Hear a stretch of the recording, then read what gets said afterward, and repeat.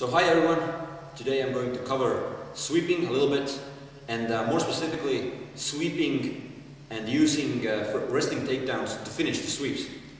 So one might ask, uh, why on earth we should need to do that? Why, why use takedowns? You know, we got sweeps, why use takedowns? Thing is that uh, uh, people, at least good guys, you know, who are who have good wrestling skill set, who have good attitude, uh, competitive attitude, will not allow themselves to be swept and uh, when you think about the competitive comp competition jiu-jitsu or submission wrestling, you know, you're gonna lose two points if you get swept.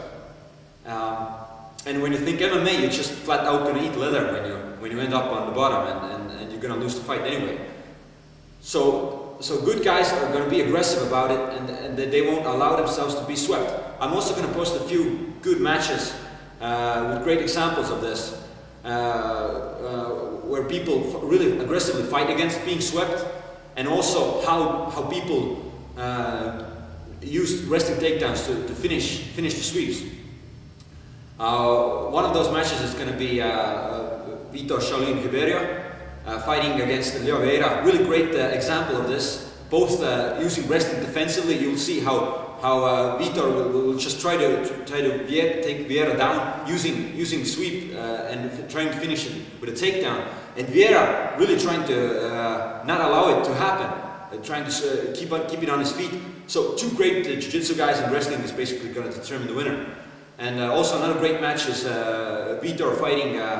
Um, was it Terere? Yeah, yeah. And Terere is pulled guards and pulls guard and tries to sweep him using some spider guard things you, you see Vitor just won't allow it. He will, he will stay on top. He, he will get off balance for a second, but he'll stay on top. And uh, and uh, it, it's basically gonna there's gonna be a real good scramble about with single leg takedowns again. Really great things. And, and, one more example that I'm gonna post. You, you, can watch it later. I'm just gonna comment about it right now. Is is the one uh, uh Marcel, with with Marcelo Garcia and Diego Sanchez. Marcelo Garcia is a great great uh, example of using uh, uh, wrestling takedowns to finish the sweeps. Uh, in, in, that, in, in, that specific matchup, you will see how uh, Diego is a good wrestler. You'll see uh, Marcelo doing his a single leg guard. Yeah, Marcelo trying to uh, sets up the sets up the sweep with with his single leg guard, off balances him. Uh, but but Diego, good wrestler, just starts to scramble on top, tries to get his leg out. Yes, and, and tries tries to get it back up. So what Marcelo does, and this is why we need to do. Uh, and uh, this is going to be the answer now. Uh, it's not that sweeping is over, and, and it's not that the, the, the, usual sweeps are totally gone. No, they're not. But you, you just gotta, kind of have the have to have the attitude of uh, coming on top, and if you have to, you gotta stick with them. You know, if two guys are gonna scramble, the, the guy with the better wrestling wins. You know, if, if, if, I if I off balanced him and he's gonna scramble for top, and you know I, I have this mellow attitude, I'm gonna come up, he's gonna come up, yeah, he's, he's gonna win. He's gonna still I, I get an advantage or something, but I'm not gonna I'm not gonna win this. So, but if I have a great attitude of just sweeping and I know that I, I got good wrestling and I okay, wait and I know I gotta go with him. I gotta go with him. I can't let him come up. I gotta wrestle with him. I gotta put, put him on his back really. So, so then I'm gonna win. So that's so that's the answer. If, if, if your sweeps are failing, you know, uh, or he, he's really trying not to get swept, things like, you know, he, he does, even if, if, you almost do a, do a sweep, then hook sweeps him. Yeah, even if, if you feel like this, even here you can still start to scramble up. You almost like had to sweep, uh, but, but you still can fail it, you know. Uh, another great example is doing, doing a basic double ankle sweep, you know. I'm gonna, I'm gonna, yeah, I'm just gonna sweep him, and uh, Again, if you just think, oh, I'm just mellow, mellowly gonna sit up, and, and he will start to scramble here, he will try to get his legs underneath him, yeah, I can fail this, you know, I can just get an advantage or, or it's not gonna be sweet. But if I, if I do this and you know, I can get my feet underneath me uh, really fast, okay, I gotta, I gotta fight with him, I gotta grab his legs, and I gotta wrestle him down. If I do this, if I have that attitude, the, the sweeping is gonna get, you know, you're going to finish more sweeps against good guys who will try to scramble. Against again, this and this requires wrestling. The better wrestler you are, the better the better the takedowns you have uh, there. And uh, and uh, yeah, so so so that's the so that's that's the idea. That's the point I wanted to bring up. It's not new or revolutionary. You know, a lot of guys do this. I just I don't see this being taught really. All, all I see is uh, people teaching, you know, uh, regular sweeps, which is which is okay. That's that's cool. You know, you gotta the sweeps. But uh, you, you kind of somewhere I, I never seen anybody teach like you, you do a sweep, but you just go after it, after him. You really like aggressively, just like a pit bull on him. So I, I do some kind of a, I don't know. I do a sweep on him, yeah. I, I sweep him there, but uh, you know, he, he can get his leg underneath him again. Yes, and, and from here, you know, you, you gotta fight him, you gotta stand up, you gotta go and finish the takedown and get, get him on his back. Again, there's so many situations like this. And uh, and yeah, I, I, I think I've made the point clear. Just watch watch the videos to get the, the, the, the matches I'm going to post. Watch watch those uh, to, to see more examples how at higher higher level this is. So you don't want to end up on the bottom. That's that's fact. And and and to get get get the get the guy on the bottom, you gotta just go with a takedown. Okay. Uh, and, and, something else. I just uh, I just want to show you a few examples of uh, the sweeps that I like to do. You know, everybody you can of course you, people have their own sweeps and you can you can uh, just figure out uh, how from that sweep you can uh, stand up and uh, go, go to your knees and, and finish it with a takedown. But I'm just going to give you a few examples of what I like to do. Yeah. yeah. Oh, okay, Okay, it's, it's again, it's, it's basically Garcia thing. I like to do it as well. Uh, use the single leg guard, you know? Just the same thing he did, he did against uh, Diego Sanchez, if you watch that match. He, he will use, use it off balance, yeah, and, and Diego will try to come, come on top, yeah? Yes, but, but he will, he will, uh, Garcia will maintain the leg control, get his uh, leg underneath him, right? And just both stand up actually. He's gonna stand up, yeah, he's gonna fight for top. Yeah, we have a single leg situation.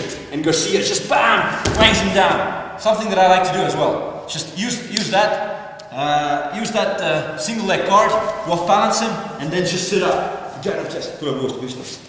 Yeah, so, so I get here, I tilt him that way, yeah, and I come up with him.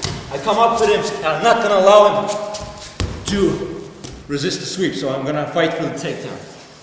It doesn't matter what kind of finish you do with the single leg takedown, it doesn't matter, there's so many options. But that, that's the idea. Those, that's one thing. Using that single leg guard is a really great example in that. And I really like how Marcelo is doing it. Uh, so another example that I like to do is, uh, is uh, use the, uh, uh is, is use the De La Riva thing Usually I do this with the gi mostly, but um, occasionally I, I, do it the no gi as well, it doesn't matter. So you, you shoot for the La Riva X guard, yeah? So I kind of, uh, so you can see here, yeah? I'm even here, if you get this, you just kind of want to tilt him with this leg. You can turn and you tilt him, bam, you tilt him forward. And again, a beautiful single leg is awaiting here after you tilt him. You just sit up and grab the leg, and you come, come, take him down. Really great, great thing to do. Uh, another, another example I can give you is, this is uh, uh, also done in those videos that you can, you can watch in those, Vitor Shaolin does it a lot throughout the Bulgarians. From the half guard, you know, a lot of guys do this. You're in the half guard, okay, yeah, and, and you're gonna come up with this leg. You're gonna come up uh, using a single leg on this leg. You come on top, and here's to be a real wrestling match again. Who's to take who down? He's to try to scramble, yeah. He's to come up, yeah, and I'm to be here. It's to be who, who gets who. Okay, so another great example of that. Uh, yeah. What else? Oh, and of course, naturally, I, I forgot that's the first. This is the thing I do. I do mostly. Yeah, when I play open, when I play open guard, yeah, this is a really common situation. Uh, in nogi competitions, one guy sits on. Uh, sits here on the bottom playing a seated guard and the other guy is just going to pass either either knees, one knee up or, or it's just standing, doesn't matter. A really great thing to do, again, Marcelo Garcia inspired something uh, is, is, the arm drag. Basically, you're, you're just, you're just uh, here and, and, you get, get the arm drag position uh, with your arms, okay? And then you drag him. You drag him and you scoot down diagonally a little bit. I drag him and I scoot down, alright? And here. What awaits me again? A nice single leg. So I turn and I come on top. Yes, and here is going to be a little wrestling match again. Better rest than wins. I have a good position, I should sure. try and take him down. The back or whatever the finish is going to be. You don't always have to just uh, finish with the takedown. But right now, it's a good good position also to take the back, so it doesn't matter. But the idea is the same. When you do a sweep, you kind of just gotta have that attitude to, to go after him like a, like little angry dog. You know, you just stick on him. You know, you do a sweep, you, you can't you can't accept him to just fall on his back. So you do some kind of X guard. I, oh, I gotta come on top. I can't I can't think that he's just gonna accept being swept. He's gonna fight, he's gonna, yeah, he's gonna try to come up. So we're gonna have to do a little wrestling match here. Yeah. So that's the idea, okay? So these are a few examples that I like to do. Uh, I'm not gonna cover them in great detail right now, but I just wanted to get the point across. Okay, so yeah, that's that for, for tonight then. And uh, watch the videos and I hope you got thinking you got you thinking a bit about it if you if you haven't thought about it before. So wrestling is good. Take wrestling and you'll see also your sweeps improve. Right. Uh, something I, forgot to uh, mention just just before, even though I, I already closed the deal, but but anyway, uh, I just uh, wanted to bring up a little uh, three three step model for sweeping uh, that how, how I see sweeps should be done nowadays. First is to conclude this topic is that that the first you, you have a good guard you gotta have a good guard and, and, and you use your your guard and your regular jiu-jitsu sweeps sort of as a setup. So the jiu-jitsu is gonna be, become the setup. So when I play the guard here yes I play the guard here I gotta have a good guard I gotta be able to maneuver here. He's not gonna be able to pass okay? So and now somewhere along the lines I'm gonna use uh, little off-balancing motions or, or little sweeping motions. So for instance I might just little here I would just tilt him a little bit. Yeah so I tilt him a little bit, so that, that's, that's the setup. That's the first part of that three, uh, three, uh, three point model. First is you use Jiu-Jitsu as a setup to off balance him a little bit. So, yeah, so, so yeah, any kind of, uh, just here, sometimes I just like grab an ankle and just push that a little bit. So again, he's a little bit off balance and, uh, and uh, I have this, now I have this window of opportunity. The moment where he's a little bit off balance, uh, and uh, before he, regains his posture. That, that, that's the moment when you have to do the second part of that model is, is to make the transitions. Going from the guard onto your knees, uh, onto your knees and, and, and yeah. So I, I off balance him a little bit, it might be just like that sometimes, yeah. Just push him a little bit and, and, and then I come up. I come up to a single leg. So that's the transition. And, and then it's going to be, the, the th third thing is going to be the, uh, it's going to be takedown. So now, now, now we're just going to fight a little wrestling match here. Who's going who's to get who?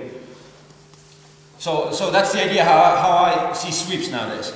You, you use jiu-jitsu, you got to have a good guard. You got to have lots of good open guards, postures. You know, you got to have seated guards. You got to have C guards. You got to have hook guards. You know, a lot of frames, and, and, and that's you got to have a really good guard. And and then you use little off-balancing motions. They can be regular sweeps, you know, I might just be here. I might actually do a little hook sweep on him. Yeah, it, it, it fails. I might just go on top from, from that motion alone. Yes. Okay? So, uh, or, or anything else, you know, just, you, you, whatever, you know, the things we showed before, you know. I just off-balance a little bit. I'm not, I'm not, I don't think that he's going to get swept with this. I just want to off-balance him. But I do think I'm going to sit up and I'm going to take him down. That's what I do think. So I, I off-balance him and I'm going to finish. So that's the three-part model so you, you, can think of. Using Jiu-Jitsu as a setup, then doing the transition between Jiu-Jitsu and wrestling, bam, and, uh, and then finishing with a takedown. And, and, the last thing that I wanted to uh, talk about uh, is, is, the, is about that transition phase. Uh, usually the transition phase involves just one similar motion in all cases. Whatever your sweep is going to be, whatever your takedown finish is going to be, the transition is usually the same. And, uh, and it's, it's a really universal movement in Jiu-Jitsu. Thing is, that revolves anything going to your knees. So when you go to your knees, you kind of, uh, you kind of want to lean forward, basing on your arm, and then you're going to get the leg that's uh, underneath you. You want to make it weightless and get it out from underneath you. So it doesn't matter. So let's say I'm just, yeah, I, I just want to sit up here. I'm just going to push him a little bit.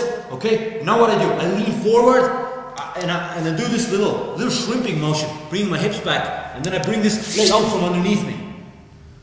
Okay? So again, so whatever sweeps I'm gonna do, I'm gonna do the arm drag thing. Okay? I do the arm drag thing. I drag it, you know what I do?